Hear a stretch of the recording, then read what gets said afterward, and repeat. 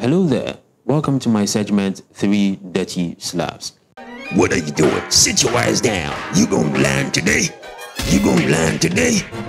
Let's talk about standard and telephoto lens.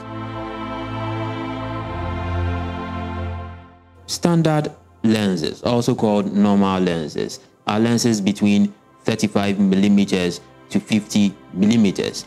The focal length of a standard lens is mostly similar to how the human eye sees the world. This becomes the ideal choice when cinematographers want a grounded and more natural presentation. The film, Call Me By Your Name, was entirely shot on a 35mm lens for this reason. Only one lens, we didn't choose any other lenses, we only shoot with 35mm. For me to get a sense of human eye and simplicity, I wanted to be straightforward. I didn't want to create technology between the camera and the performance. What does one do around here? Wait for the summer to end. Yeah. What do you do in the winter?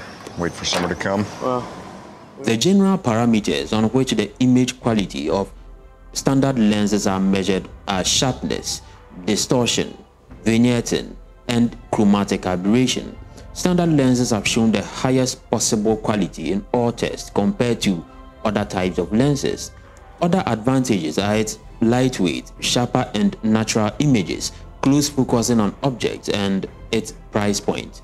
You can have a very good standard lens at a low cost, which is very awesome. Okay, moving on, let's talk about telephoto lens. A telephoto lens is a lens that appears to magnify distant objects these lenses usually have a focal length of 70 millimeters and up. They are often referred to as long lenses. Telephoto lenses are typically used for capturing distant subjects, making us feel as if we are observing a scene from afar.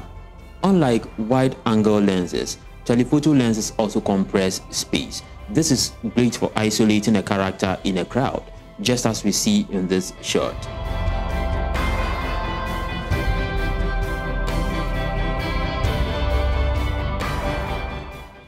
The three main advantages of telephoto lenses are its ability to shoot great wildlife, sports, and portraits.